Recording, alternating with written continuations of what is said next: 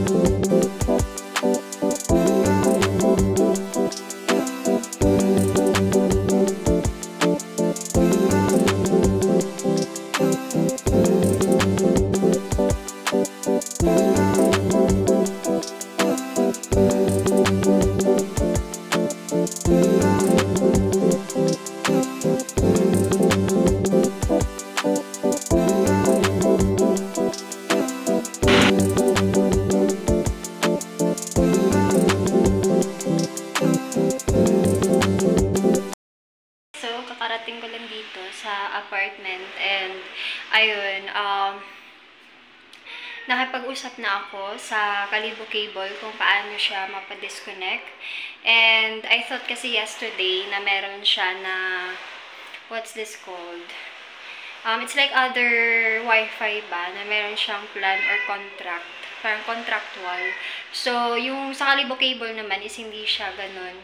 So, ayun, it's, it's important lang din no, na malaman and ayun, maintindihan bago ako dito um, mag-move out. So, ayun na nga, um, I think everything is good kasi yun lang naman yung pinaka, uh, pinoproblema ko kasi baka alam niyo yun yung contract. Before kasi hindi ko siya naintindihan. So, today is um, naintindihan ko na siya. So, yeah, I asked kanina ko ano ba yung dapat gawin, ano ba yung dapat na um, asikasuhin or requirements para magpa-disconnect. So, wala naman, uh, wala naman yung babae sa akin na sinabi, kundi, ayun, pina-fill up niya lang ako ng maliit na papel, tapos name lang, and then yung place, yung inilagay ko doon. So, so far, um, binigyan niya ako ng exact amount na aking babayaran sa 29, kasi yun lang yung pinakalas na, yun lang yung pinakalas na um, day kung saan uh, babalik ako. Tapos magpipay lang din ako. And then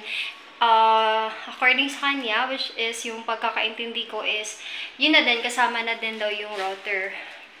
Um, siguro kukunin din nila dito. Same day. So ayun. And uh, today is of course I'll give you a quick look.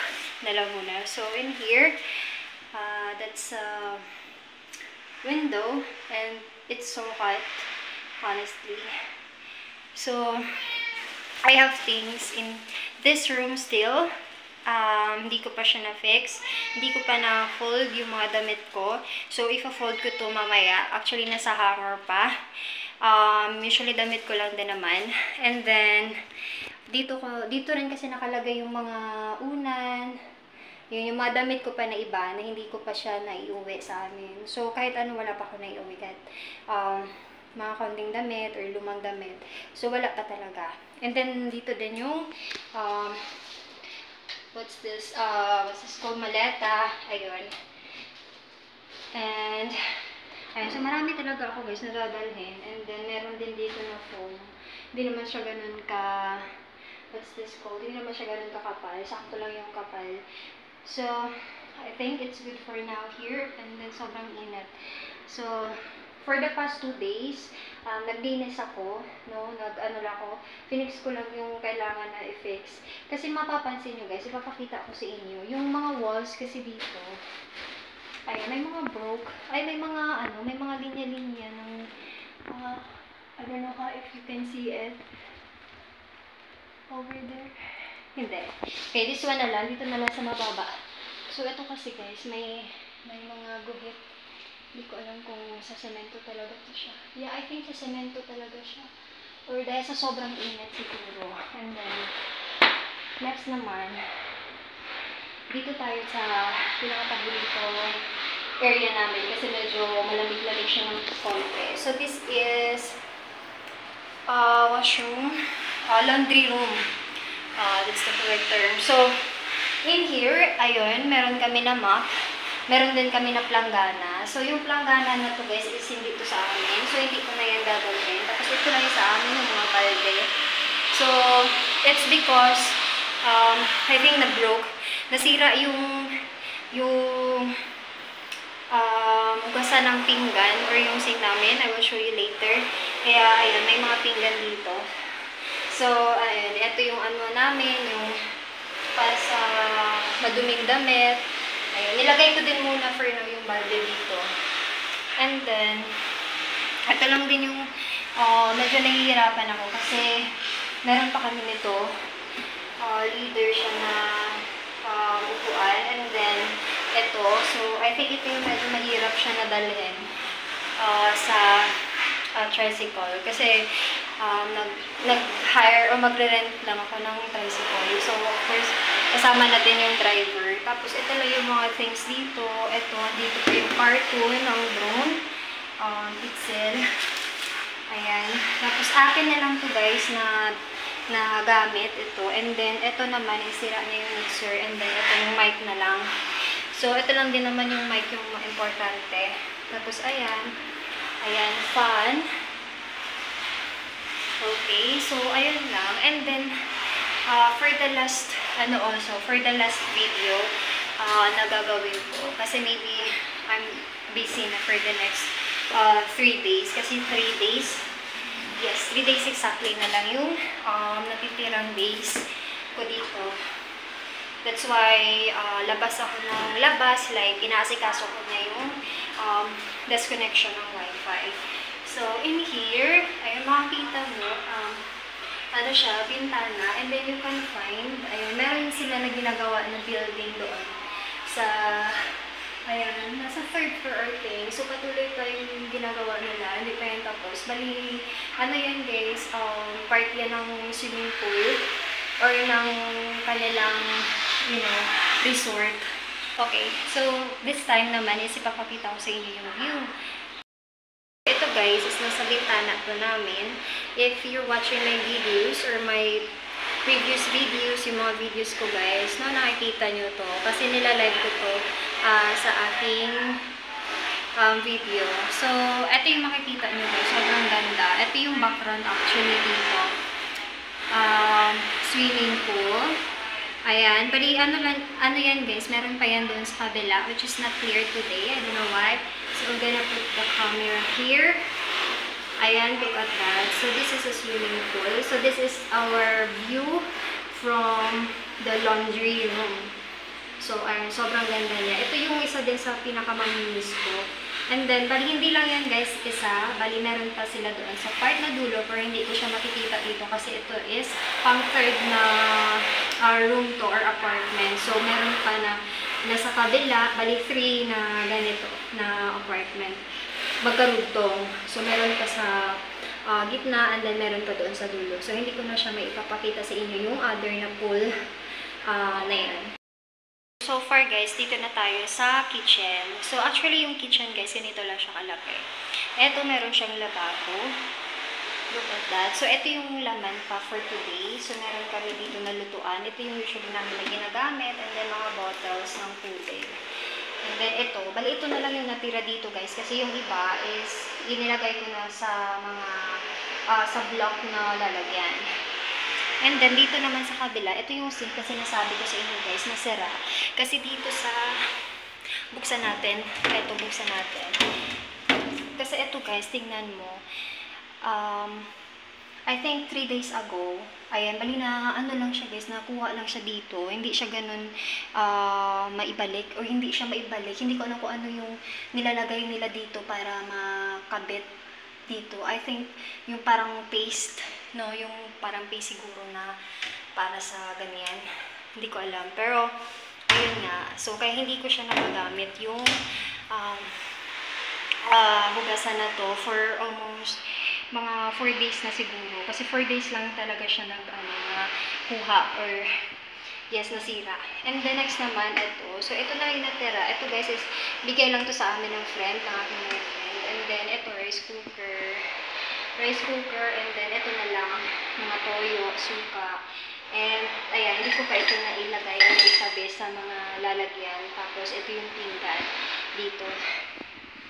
And then, um, dito, meron pa din dito kami na, ito, lalagyan namin to ng bigas at kung ano-ano pa, mga pang, para sa pusa, ah, na pagkain. And then, yung ano naman, yung tank, is dito pa din siya. Ah, where's that? Ito yung tank. Ah, yung maliit na, ano, na fish, ah, fish tank ng boyfriend ko. Ayan. And then, yung isa sa inaantay ko, kung meron bibili, ah, is yung ref namin. Kasi, yung problema guys, kapag, um, kapag dadalhin ko to sa amin is, ano, ma, alam niyo yun, yung magagastusan ka pa ba? Kasi nga, yung sa amin is bukid. And medyo malayo ba? Alam niyo yun, yung parang pataas, pababa yung daanan. So, at isa pa, wala namang ipapasok, wala namang ilalagay doon sa loob or doon sa ah, sa ref na to. So, ayan. So, nakapag-decide kami na ibenta na lang siya.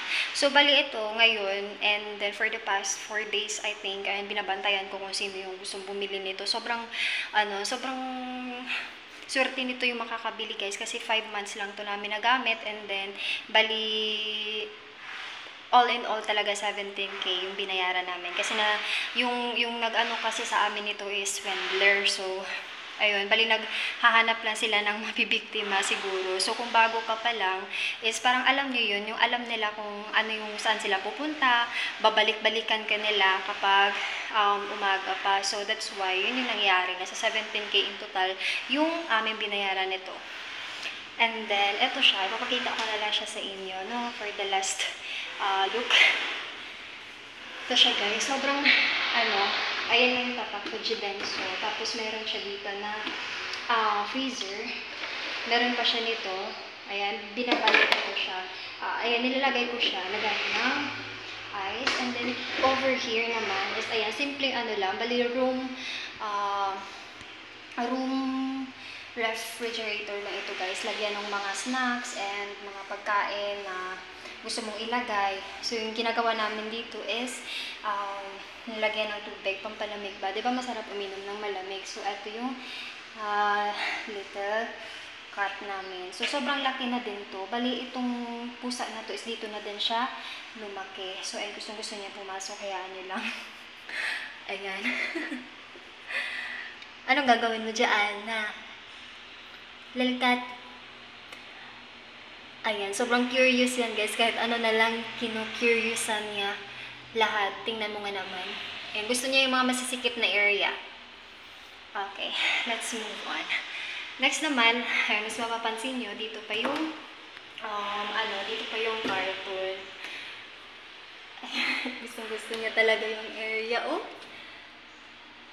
Okay, so I just left him there. Next naman tayo. Alright. So, dito naman tayo sa medyo, uh, what's this called? Sala-sala nila. So, ito yung mga gamit namin. Bali, naayos ko na to pero ginulo ko kanina kasi kinuha ko yung mga sapatos ko and yung ginamit ko kanina. So, ito yun, nakalagay na sa mga plastic. Ito yung mga pang-kitchen, including ito. Ayan. Tapos, ayan gamit ko. May mga libro doon. Tapos, may importante kong dokumento. Ito balde. Tapos, lagayan ng tubig na hindi ko ginagamit. Ito, dalhin ko din to guys. Ito isa empty na. Meron pang laman ito. Tapos, itong bag, nilabhan ko na to. Ayan, malinis na yan. Tapos, mga sapatos. Ay, namamadali lang kanina kaya kinuha ko. Tapos, ayusin ko naman yung mamanta. Tapos, ito guys is, ano, sa keyboard to. So, ayun, kinuha ako sa mga cartoon. Kasi tinapon ko yung mga ibang cartoon. Tapos, ito is, uh, pina ano lang, dito lang muna to kasi yung, yung keyboard is andito pa. So, I think ma ilalagay ko pa yung keyboard kasi I think good condition pa naman siya. Hindi katulad ng ibang mga cartoon na hindi na pwede. Next naman, ayan, ito yung mga sapatos ko. So, actually, ito yung makinuha ko kanina, kaya nagkanda ko yung Tapos, ayan, ito yung pang collar. Tapos, ito maliit na bangko na to guys is ah, sa kanila naman to. Dito naman to siya. Tapos, ayan, ito yung mga gamit pa. Ito yung fan, yung maliit na fan. Um, dadalhin ko din to. Tapos, ito yung maliit na table. And then, let's take a look. So, ito guys, yung bintana. So, alam nyo ba, ayan, sinira na yan ng pusa. Look at that. Ayan, bali screen. So, gustong-gusto niya talaga na umakyat palagi. And then, gustong-gusto niya na, alam mo yun, kung meron siyang hinahabol na, for example, lizard, mga cockroach. So, gustong-gusto niya yan. And then, ayun, ito lang, bintana. Alright. Ito yung main door. And then, let's proceed naman tayo sa next uh, room. So, sisipagpakita ko din naman lahat sa inyo. diba? So, ito is um, view naman to ng uh, room 2 or ng pangalawang room. So, ayan, makita nyo, merong mga banana dyan sa loob. Kung nakapanood yung, yung mga past na video ko is, alam ko na, alam nyo na yan. Tapos dito, yung nakaloob lang, or nakaloob, ayun yung mga gamit na natira dito sa room na to is ito. Ayan, actually, dadalhin ko to guys. Sinira lang ng pusa yung uh, wire nito. Pero, I'm sure sobrang easy lang naman to um, i-fix. Next naman is merong maliit dito na cushion. Ayan, dito usually tumutulog yung mga kapatid ko. Tapos meron pa sila dito na um, natitirang damit. Kasi yung ibang damit is dito yung before. Ayan, hanger, sapatos. Ayan, sa kapatid ko yan, nasa bonbon. Tapos yung mga dito is wala na. May damit dyan si mama before, pero I think dinala niya lahat sa New Washington.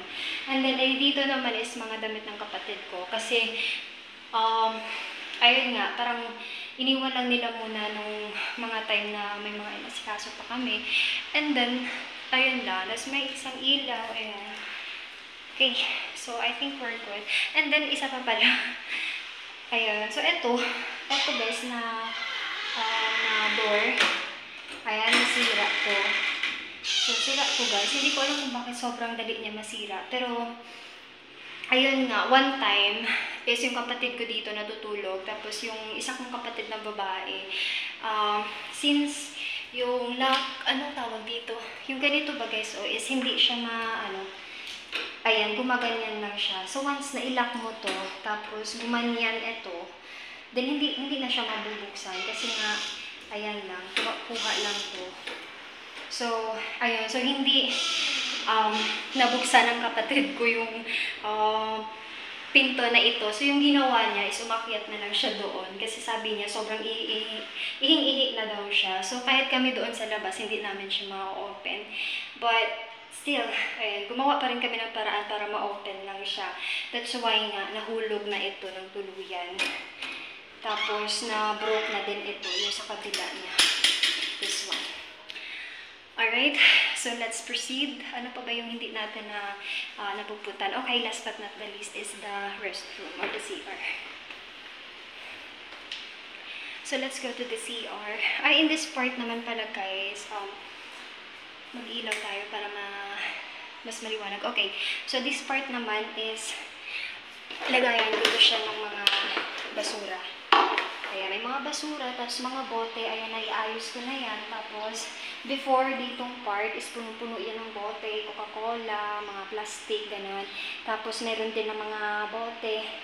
Ayan, so ditong part na to is sobrang punong-puno talaga. Grabe yung Coca-Cola, diba? Ano, mga, alam niyo yung mga bottles, Ayun. Tapos yung last but not the least is dito tayo sa CR. So, actually, yung CR natin is, um, honestly, hindi ko gusto yung, ano, hindi ko gusto yung, tawag dito, yung floor ng CR na to. Um, eto lang, eto yung sink, maliit lang siya, tapos, ayan, so yung, yung, ano, yung, yung shower is, ayun, nakuha na, nasira na, kasi madali lang siya mahulog doon, kaya doon na sa tubigan, um, nilalagay. Tapos, meron siya ditong bintana, ayan, and then, that's it. At ito pa pala, no, ito nasira din to. Nasira to ng kapatid ko kasi gusto niya daw na mai-open. So, sobrang ano lang, tapos natingas lang itong um, bato. And then, that's it. Nasira na siya. Okay, so that's it for the last tour in this apartment. And thank you so much for watching. Bye!